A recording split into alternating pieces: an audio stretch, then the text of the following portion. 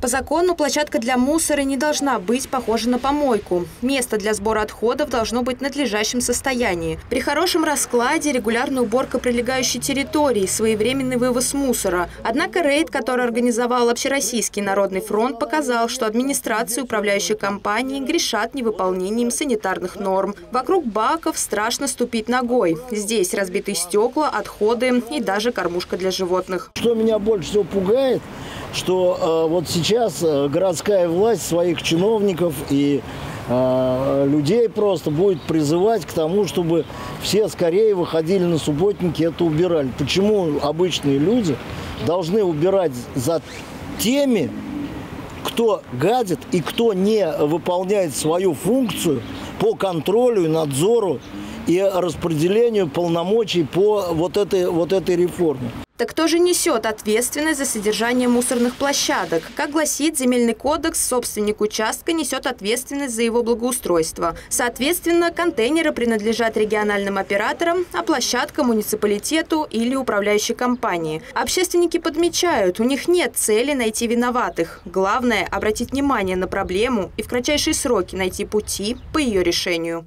Спасибо большое нашим общественникам, которые указывают нам проблемные точки, вот.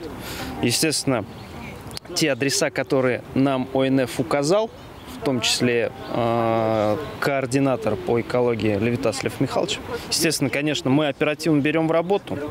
И э, в течение суток, естественно, конечно, все э, указанные э, адреса, контейнерные площадки приведем в соответствие, проведем субботники, э, приведем э, в соответствии с санитарными требованиями и законодательством. На сегодняшний день в городе порядка полутора тысяч мусорных площадок. Из них 800 под ответственностью администрации. Оставшиеся контролируют управляющие компании. Рейд прошел на улицах Красногвардейская, Карла Липкнихта, а также в Засвиярском районе. Из точки в точку картина одна. Талый снег в перемешку с отходами. В выделенных контейнерах под пластик старая одежда и бытовой мусор. Народный фронт уже давно держит на контроле контроле ход мусорной реформы и считает, при ее реализации должно быть четкое соблюдение всех установленных нормативов. Александра Никитина и Даниил Сурков. Управда ТВ.